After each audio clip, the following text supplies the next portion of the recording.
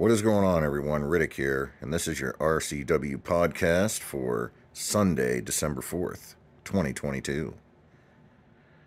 We are going to talk about Bray Wyatt and the recent happenings that we got to get caught up on. And I'm going to touch on the Usi, Sami Zayn bloodline storyline that's going on. That is pretty much the hottest storyline in all of pro wrestling right now. And so that's what we're going to kick off with. We're going to kick off with the Sami Zayn stuff that's been going on. Of course, at Survivor Series War Games, Sami had finally pulled the trigger and he low blows his best friend in order for Jey Uso to get the win in the War Games match. This all happens after we saw Sami talking to Kevin Owens right outside the Bloodline locker room while Jey was eavesdropping. And when Jey came out and asked him if he had talked to anybody, Sami said, No, I just got here. I just got here. And he pretty much lied to his face. And then, of course, Jey knows he was lying to him because he was listening in. So, in the War Games match, Sami then, uh, you, you didn't see Sami or Kevin touch each other the entire match until that moment where Sami jumps down, he stops the referee from counting when Kevin pretty much had the match won. And Owens looks at him like, What the hell are you doing? And then that's when we get the low blow. Jey gets the, uh, well, Sami hits a Helluva kick on Owens, I do believe. And then Jey gets the, gets the win for the bloodline. And then, of course, they're all hooting and hollering and they're happy that Sami did what he did, and Jey, uh, of all people, embraces Sami in the ring, big hugs and all that stuff. The least per the last person you would expect to be hugging Sami, and that's how the show went off the air. And of course, the next night they come out, they're celebrating on Raw, and then Owens comes out and says he doesn't want anything to do with Sami anymore doesn't want to be his doesn't want to ride down the road with him anymore, be his travel partner, anything like that. Now, through all this, Sami kind of has a look on his face of uncertainty. Not as bad as he had at War Games. At War Games, Sami was emotional over what he did, and you could tell that he was sad that he hurt his friend, but at the same time, yay, I'm with the bloodline now, or whatever, right? It's kind of like, you know, when it's kind of like say you have a loved one and they love you unconditionally, but there's this other girl and she's just all cute and hot and you go and play with her, right? You don't really love her. She doesn't really love you. Meanwhile, the one you really love is just sitting off in the corner, pretty much heartbroken because you're a piece of shit. It's kind of like what it is, but for whatever reason, the crowd's just eating it up. You know, they're all oozy about it. They're very oozy about it. They're feeling very oozy. But, uh, you know, Kevin on Monday Night Raw had said he doesn't want nothing to do with Sami anymore. And Sami, you know, says the same thing pretty much. And then on SmackDown, we got a little interesting segment where Sami had a match with Sheamus. That that went over the way it did. And Jey ends up helping Sami win the match. But later on in the back, Sami's back there with the Usos, and Solo Sikoa is back there as well. Usos tell him, why don't you take Solo with you because Sami's trying to get them to go out for late night eats somewhere. They're like, oh yeah, take Solo with you. You've been making a lot of enemies lately. So, you know, he takes off with Solo. Then they're standing there talking. And then Jimmy says, why didn't you call him out on him lying to your face? You gonna ask him about lying to your face? And Jey's like, well, tribal chief said that he's seen everything he needed to see and everything was good or whatever. Can tell they're already planting the seeds of things are going to go down and it's not going to end well for Sami. Sami's going to be getting the beat down of a lifetime and it's going to be an emotional one. Very emotional one. Because it's coming. We don't know when exactly, but it's definitely going to happen between now and the Elimination Chamber since the rumor has it that Sami may take on Reigns for the Universal title at the Elimination Chamber, which should be interesting because it does take place in Canada at that pay per view. or PLE, Premium Live Event, right? But I'll tell you, when he gets that beat down, it's definitely gonna you're gonna feel it. And there hasn't been a storyline like this in pro wrestling for a long time, an organically built storyline that that has all these emotions and things that go along with it. It's been a really long time since you've had something like this, and you can compare it to the Yes movement. Movement. You can compare it to other things like in that same vein, but this is like uh, on it's its own thing. But definitely have not felt this kind of storyline in many years in pro wrestling, and this is uh, it's going to be a doozy when it all comes to a head. And of course, you know, Kevin, even though he's saying that he doesn't want to be Sami's friend, in, re- in reality, he's just saying these things. And ultimately, who's going to come save the day and bail his buddy out of the the hole that he dug himself? It'll be Owens. And then ultimately, I do believe that we get Sami and Kevin teaming together at WrestleMania against the Usos and possibly taking those tag team titles off of them. And speaking of the tag team title, now some people, before we get into that, some people want Sami to, to wrestle Reigns at, at Mania and take the title. I, I don't think that's a good idea. I don't think that's the move. Although I can understand it, you know, kind of like the Yes movement where it's organically developed and you know, he's he's he's as popular as he is now. I get that. But I don't think that's necessarily the move. I think the move is you you get back with your friend that tried to tell you all these things that ended up coming true. You didn't believe him. And of course, he bails your ass out. And you want to get back with your best friend who had your back from day one and go on to WrestleMania and take the titles off the Usos. Now, the tag team titles, the designs are going to be changing here soon. We know that there's new tag belts. That we know that WWE is in possession with them from the recent reports that have come out and it looks to be that they will be on a black strap, but we don't know if they'll be platinum or they'll be gold. We do know that they'll have a WWE logo right in the center of them. Now, I don't know if that's going to look like the main title logo. I really hope not. I hope it's more. I just hope it's better looking than that and looks more, you know, classic championship style. Hope they did something that makes it more like that, but we'll see we'll see. Either way, we're going to be getting new tag team titles, which says to me that I mean we don't know if there's going to be separate, you know, Raw and SmackDown titles. I really don't think so. I think we're getting one set of tag titles, and it's just going to be one set of tag team champions, which is the move because that's really what makes sense at the end of the day. We're going to move on now. Well, you know what? One last thing. Some people might think Kevin Owens should take the title from Reigns. I'm not opposed to that idea. I'm not opposed to that idea at all, but I still think the story is Kevin and Sami being a team and, and going up against the Usos. I think that the person to take the title from Reigns, you have a couple options, but you got to be careful how you do it. You got Cody Rhodes is, is right up there. You know, you can come back and win the Rumble and do it through those means. Some people say Bray Wyatt. I'm not sure we should go with Bray Wyatt right now. I would love it because, you know, the storyline's built in right there because Reigns has had the Universal title ever since he took it from Bray. So that's a built in story in itself. But I don't think we need to go there yet. Maybe maybe next WrestleMania, not this coming one. And then there's now reports that The Rock is going to maybe be in the Rumble and win the Rumble. Please tell me that's not going to happen because that is not that is not the move, my friends. We do not want to go down that road. No.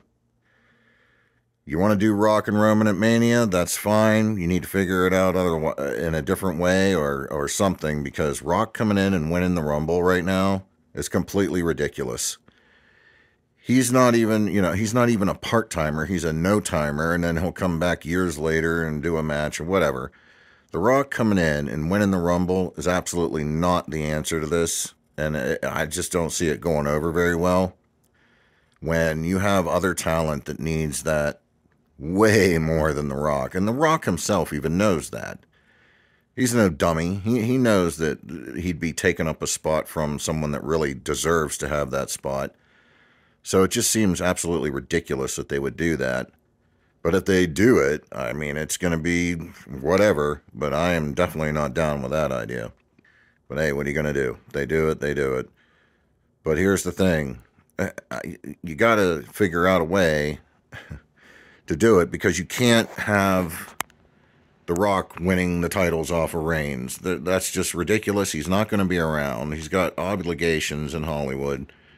You know, he can't risk hurting himself. He's already going to risk hurting himself. He's going to get involved in this stuff. And you really can't have him being the champion. You know, and The Rock is The Rock. It's like, do you really want him losing? I mean, I guess if you want to solidify Reigns as the head of the table, the tribal chief, I guess so. But does it need to be for the title? No, it doesn't need to be for the title. Absolutely it absolutely doesn't. You know, it all goes back to the family, the bloodline, everything like that. You know, it doesn't need to be for the title at all. One way around it is you could have Reigns pull a double nighter, you know, double a double header basically, uh, and he'll have to wrestle a match on both nights. You know, one and and and somehow whoever it is takes the titles from him. The next night, The Rock wrestles him. I don't know. I don't know, but The Rock winning the Rumble and facing him for the titles is definitely just ridiculous, in my opinion. I, I hope that's not what happens. We'll see, but I don't know. I think it should be Cody Rhodes right now. That's the story right there that uh, that I think everybody could get behind. You know, not everybody's going to get behind Bray Wyatt going for the title right now because he just came back. He has yet to wrestle a match, which we're going to talk about here in a second. So, yeah, I don't know about that. I don't know about that. Cody Rhodes is probably my number one pick for taking the title off of Reigns. Like I said, there's some other options there, but that would be my number one option. So now let's go ahead and get into the Bray Wyatt stuff that we need to get caught up on. Since the last I talked about this, we have now seen that Bray is getting involved with LA Knight. LA Knight was in the back one night, and Bray's little uh, logo and stuff is flashing on the screen behind him. He notices it, gets all angry about it. Bray shows up backstage. They have a few words. Bray headbutts him and walks away. Then we get to the next week, and LA Knight interrupts Bray's promo from out. He's out in the ring. LA Knight interrupts him, comes out. Bray's pretty much saying he's sorry. You know, he didn't mean to do that, and whatever. LA Knight comes out like he's going to accept the apology, but then goes and proceeds to slap Bray across the face, not once, but twice, after fooling him into thinking that, uh, you know, he was actually going to shake his hand or whatever. So, this, of course, infuriates Bray, and then we see that LA Knight is attacked backstage. We don't know by who, but we see LA Knight under a pile of rubble, and and when be, right before this happens, we see in the distance in dark shadows, we see the mask that Bray had worn when he returned at Extreme Rules, the Uncle Howdy mask, not the latex Uncle Howdy mask where we're like looking and it's like, you know, Uncle Howdy talking to us that we've seen with the hat and all that stuff, but Uncle Howdy, the hard like the hard shell mask that he wore at Extreme Rules. That also represents Uncle Howdy. I mean, that's a given considering the new shirt, the t-shirt that's out, pretty much tells you that right there. And uh, so we seen that mask in the shadows in the distance. So we know that something happened there. And then the following week, we also had another situation where LA Knight was attacked again. And again, we see that mask in the distance in the shadows. And then most recently, Bray came out and said in, in a backstage promo on this past SmackDown that he wasn't the one that attacked LA Knight. And, you know, he was being very, uh, he was being very Bray Wyatt in this promo, very, uh, you know, cult leader Bray Wyatt and, and his way of, with his way of words and how he was talking. And he said, you know, if it was me that attacked LA Knight, you'd know it because there'd be nothing left of him. Now, I just remember this, people. Uncle Howdy, when we see these little videos of Uncle Howdy, he's telling us that Bray is lying to us. He's telling us this over and over. Everybody wants to think that Uncle Howdy is somebody else. It's Bo Dallas. It's this person, that person.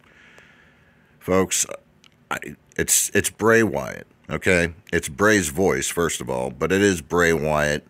Bray Wyatt is Uncle Howdy. It's his. It's in. It's in his head. It's his, you know, alter ego talking to him in his head, and that's who Uncle Howdy is. Okay, and he's telling us, you know, he's lying to us and this and that, and that he should revel in what he is, revel in what you are, right? Bray telling us that, oh, well, that wasn't me.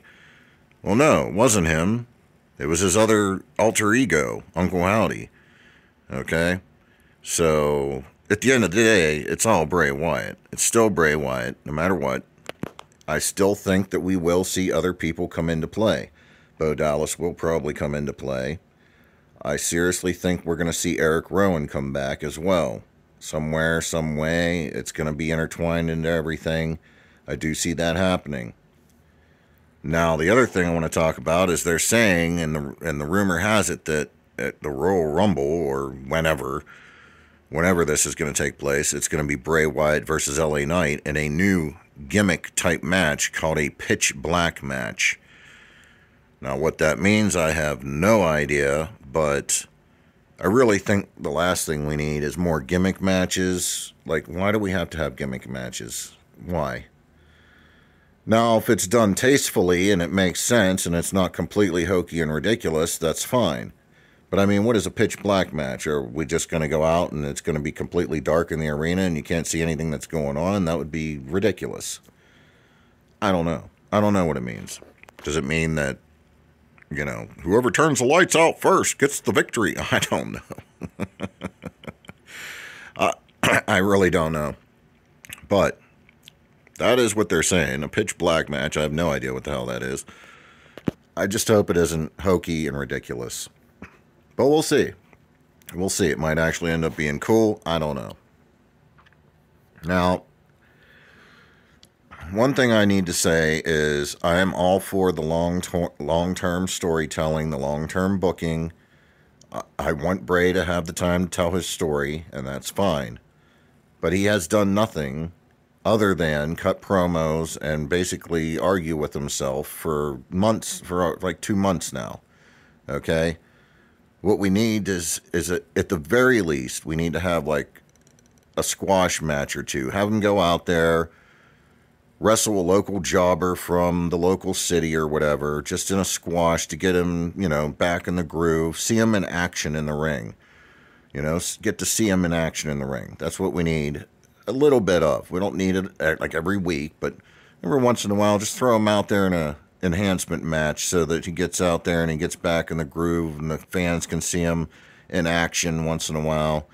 And even though you're doing that, you can still intertwine the main story into all of it. You know, somewhere along the way in the segment, you can intertwine the main story and have it kind of flow through everything, but at least get them out there and, and, and get them moving and grooving a little bit again because – nothing but backstage promos and, and every once in a while cutting a promo in the ring. I think people are getting antsy. I understand, like in this day and age, people have no patience. I I do, you know, but I, I that's just not the way the world is today, and most people don't. They want it now, now, now, now, now.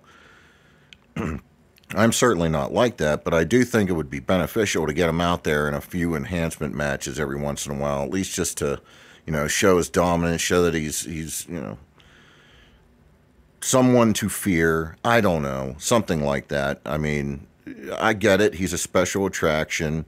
He's top merch seller, and I mean, he's right up. You know, Sami Zayn's right up there with him right now with his honorary Uce shirt and all that. But Bray is a top merch seller, and I understand he's a special attraction, and and uh, it's all fine and dandy. But I still think we need to get him out there and moving and grooving in the ring a little bit. You know, that'll help things because right now it's starting to be like we're spinning our wheels and we're not making too much progress here. And now we don't have a PLE or pay per view or whatever all the way until the Royal Rumble. That's a long time when we already have gone this long without seeing him in any kind of action in in the ring. Of course, we've seen him backstage, you know, and we the the backstage things that have happened. I mean, the most action we've seen out of him is the headbutt he gave LA Knight. That's pretty much it and then the slaps he took from LA Knight. So I think we need to get a little bit more action in there somewhere. Just pepper it in a little bit. It don't have to be every week, but it'll kind of keep people from, you know, getting antsy, which they already are, because I see everybody getting antsy over it and getting all tired of it already because they just can't be patient, you know. And I get it. I get it. It's dragging along. You know, they're trying to make this a long-term thing, but there's there's things you can do to appease the masses while at the same time continuing your long-term story that you're telling. Uh, so that's where I think they should go with it and how they should do it. But as far as where I think it's going, I think ultimately we get Eric Rowan, Bo Dallas in some form. I don't think at all that they're Uncle Howdy or anything like that. That's all Bray. Okay. I mean, basically, Uncle Howdy's telling you that, hey, I was Funhouse Bray. Like, Uncle Howdy is Funhouse Bray, right? Because now we're seeing Funhouse Bray intertwined into all these little video segments with Uncle Howdy more and more. Like this most recent one, there was a lot of Funhouse Bray being shown, and for they don't just do that for no reason. There's a reason that's being done. So it's almost like the Uncle Howdy, you know, persona or or demon or possession, whatever it is. You know, that's like that was like Funhouse Bray, I guess, right? I don't know. I don't know. Maybe that's what. Maybe that's not what they're saying. I have no idea. But that's what I'm getting from it ultimately where it goes. You know, we get Eric Rowan probably, Bo Dallas probably.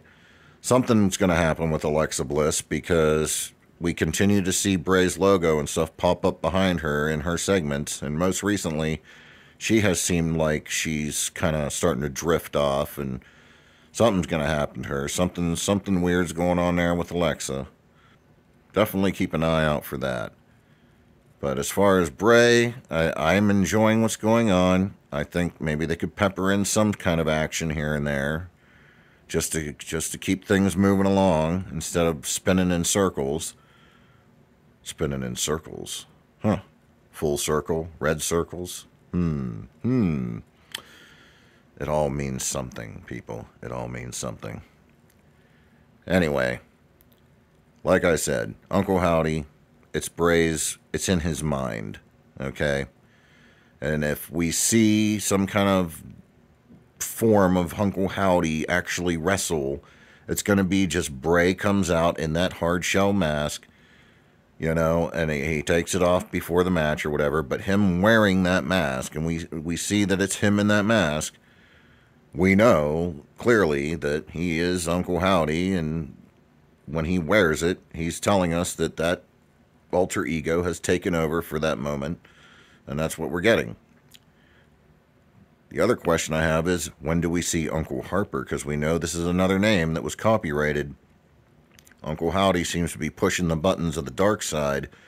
Perhaps Uncle Harper will be the one to be tapping on the good side and saying, hey, no, no, no, no, no, let's not do that. We have not seen anything Uncle Harper related yet, so you know that's coming and it's definitely you know in honor of Luke Harper, Brodie Lee, his friend. So, and I'm sure coming from Bray, it's going to be tastefully done and not just some ridiculous nonsense that's going to be disrespectful. Bray would never allow that to happen. So, whatever it is, in whatever form or shape or whatever, it'll be it'll be done tastefully, I'm sure. And uh, ironically enough, I feel like that would be, you know, the good side of things, you know, good personality or alter ego, whatever you want to call it. One other thing I've noticed is when we see Bray in the back, he's very much, he, he's more, you know, Bray Wyatt, cult leader Bray, talking in his, you know, strangeness and all that stuff and being very creepy and all that. However, when he comes out to the ring, and he's out in front of the people, he's not talking like that at all. He's very, you know, oh, Windham. He's very Windham, right? Normal, just talking to the people.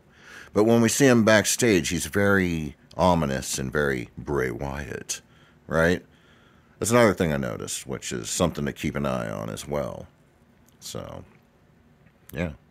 I mean, that's pretty much how I feel about it, where I think it's possibly going, where we end up it's it's anybody's guess at this point where we end up. but it looks like we're going to be getting this match with LA Knight. I don't understand. I, I really don't understand how you're going to play this out until the Royal Rumble. But man, Uh, they got a long way to go, and I, I just don't know how you're going to stretch it out that far. We'll see. Maybe they end up deciding to do it on a a random night on SmackDown or or something like that, or like you know right before Christmas we get this match. I have no idea, but that's a long time to go to stretch this out to get that match. That's why I say we we we should probably see him in an enhancement match or something like that until we get there, because the people are going to be they're going to be like, yeah, I'm done, you know. And it's not not me. I don't mind. I, I'm all here. I'm all 100% in for it, but the majority of the people that you know they can't even wait 10 seconds for something let alone 10 weeks or whatever so we're going to have to do something here instead of spinning our wheels over and over and that's just the way i feel about it that's really all i got to say this week folks you know all the other stuff going on in the in the uh, wrestling world is it is what it is. MJF is now the AEW champion. It looks like William Regal's on his way back to WWE, basically coming back home. of course, naturally, why wouldn't he want to? I mean, his child, his his his kid is in NXT, I do believe. So, and of course, him and Triple H are good buddies. So why wouldn't he want to come back home now that Triple H took over? So, however, he got out of that AEW deal, I have no idea. But clearly, they wrote him off TV when MJF hit him with the brass knuckles in the back of the head and they stretchered him out. And that's one thing I want to say about AEW. They're always so very quick cut, like, oh man, this happened. Okay, back to the next segment. Oh, oh wow, this happened. Okay, on to the next segment. Boom, bang, boom, bang, boom, bang. They don't let anything breathe ever, and it's very annoying. Like it's very annoying. There's no breathing time at all. It's just very boom, bang, boom, bang, boom, bang. You know, and, and, oh my god, he took him out with this. Okay, back to you, Renee. And it's like, um, uh, okay, it's very annoying and very ridiculous. And then finally, even though they still did it throughout that whole show, that one segment they actually let breathe. They let the William Regal thing breathe after he got knocked out. You know, he got stretchered out. They actually let that breathe, and that felt so much better watching it because you're able to digest it and absorb it, the moment and everything. And then we're right back to do that after that. I mean, you know, whatever. Tony Khan, he's just, I don't even know. I, I think he, he books like he sniffs, if you know what I'm saying. he's a mile a minute, man. I don't know. He needs to slow it the hell down and, and take a breather, man. Take a breather. Slow down. Of course, the whole Rhea Ripley thing with Dominik Mysterio has been great. Rhea Ripley's been excellent. And I do believe Rhea Ripley deserves her chance at the women's title. With everything that she's done, she's damn well earned it. And uh, we've seen Mia Yim come back. We've seen Tegan Nox come back. These returns, you know, Triple H just throws them out there, and people aren't going to necessarily know who they are. Some people know who they are. Some people don't. I think he just wants to throw them out there and just get things moving along to get the women's division bolstered. And uh, so that's why he does that. And he knows they're capable to go out there and just get over by being in action in the ring. You know, and even in that segment when Tegan Nox came out, she, you know, started out with people like, huh? But then by the end of it, they were like, oh, yeah, okay. You know, so and now people are getting behind Mia Yim and stuff now. So, yeah. But as far as vignettes, we have Lacey Evans in another repackage. Lacey Evans has been repackaged once again, going back to basics in her Marine Corps training and her time in the military. Although this time around, instead of it being hokey and ridiculous like that Vince McMahon version, this feels more realistic and more true and honest and, and gritty. And uh, I can get into this more. Now, it's been so many repackages of her, it's hard to get into anything when it comes to Lacey Evans, but I'll give it a chance. We'll see if Triple H knows what he's doing. I'm sure he does. I have faith in Triple H that he knows what he's doing. And uh, we'll see where that goes, too. So. that's about it. That's about all I got for you. I just wanted to kind of cover the main topics of what's been going on. So yeah, uh, I'm a big fan of Judgment Day and how far they've come. That's that's great. Seeing them uh, go from being a complete joke group to now they're one of the best factions in the company, and that's always wonderful to see. And oh yeah, one last tidbit: Eric Young looks like he's on his way back to WWE as well. Hopefully, it's with sanity and not just Eric Young, because that wouldn't make any sense. I mean, we got Nikki Cross; you could put her with him and make it make sense that way. But we'll see what goes on there. I like Eric Young. I've always liked Eric Young. So uh, we'll see what happens with that too.